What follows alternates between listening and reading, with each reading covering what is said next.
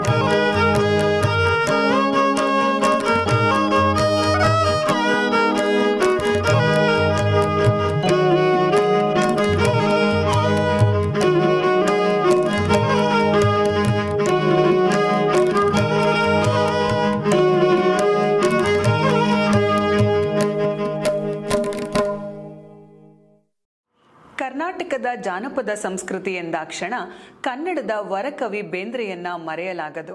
ಗಾನಗಾರುಡಿಗ ಜ್ಞಾನಪೀಠ ಪ್ರಶಸ್ತಿ ಪುರಸ್ಕೃತ ಬೇಂದ್ರೆಯವರ ಇನ್ನೂ ಯಾಕ ಬರಲಿಲ್ಲ ಹುಬ್ಬಳ್ಳಿಯವ ಗೀತೆಯನ್ನೀಗ ಕೇಳೋಣ.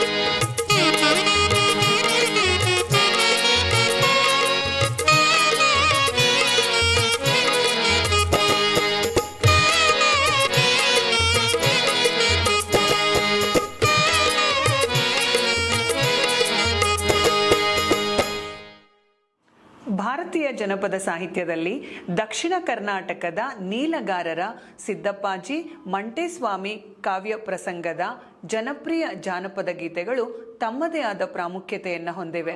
ಇವು ಧಾರ್ಮಿಕ ಮತ್ತು ತಾರ್ಕಿಕವಾದ ಕಾವ್ಯ ಪರಂಪರೆಯನ್ನು ಹುಟ್ಟುಹಾಕಿದ ಕನ್ನಡದ ಹೆಮ್ಮೆಯ ಕಲಾ ಸೃಷ್ಟಿಗಳು. ಈ ಜನಪ್ರಿಯ ಕಾವ್ಯ ಪರಂಪರೆಗೆ ಸೇರಿದ ಆದಿಚೋತಿ ಬನ್ಯೋ ಎಂಬ ಜನಪ್ರಿಯ ಗೀತೆಯನ್ನೀಗ ಕೇಳೋಣ ಬನ್ನಿ. Thank you.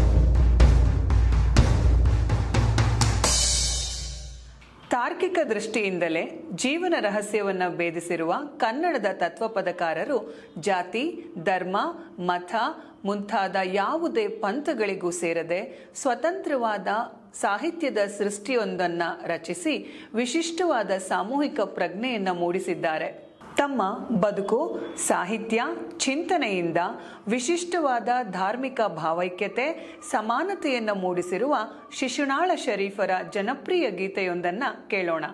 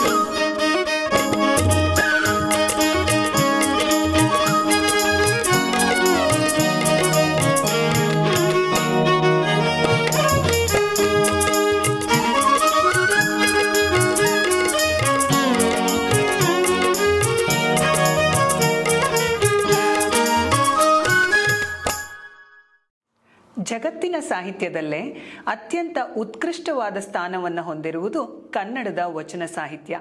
ಕನ್ನಡದ ಉಪನಿಷತ್ಗಳು ಎಂತಲೇ ಜನಜನಿತವಾಗಿದೆ. ಹಾಡಿದರೆ ಹಾಡಾಗುವ, ಓದಿದರೆ ಗದ್ಯವಾಗುವ ಕನ್ನಡ ಸಾಹಿತ್ಯದ ವಿಶೇಷತೆಗಳಲ್ಲಿ ವಚನ ಸಾಹಿತ್ಯವು ಒಂದು. ಭಕ್ತಿ, ಜ್ಞಾನ, ವೈರಾಗ್ಯ, ಆಧ್ಯಾತ್ಮದ ಪರವಾಗಿದ್ದು ಜಾತಿ, ಧರ್ಮ, ಮತ, ಕಂದಾಚಾರ, ಮೂಢನಂಬಿಕೆಗಳ ವಿರುದ್ಧ ಸಿಡಿದೆದ್ದದ್ದು ವಚನ ಸಾಹಿತ್ಯ. ಈ ಪಂಥದ ಆದ್ಯ ಪ್ರವರ್ತಕರಾದ ಬಸವಣ್ಣ ಮತ್ತು ಅಕ್ಕಮಹಾದೇವಿಯವರ ಕೆಲವು ವಚನಗಳನ್ನೀಗ ವಾದ್ಯದೊಂದಿಗೆ ಕೇಳೋಣ.